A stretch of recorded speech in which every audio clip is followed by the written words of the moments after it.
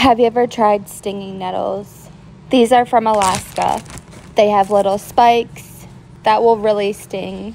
I did a quick blanch. The color is absolutely beautiful when they're cooked.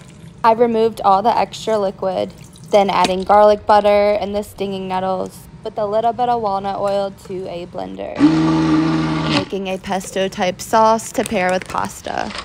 I added butter, pesto, salt, and the stinging nettle water to a pan with the pasta, then topping with Asiago roasted walnuts and walnut oil.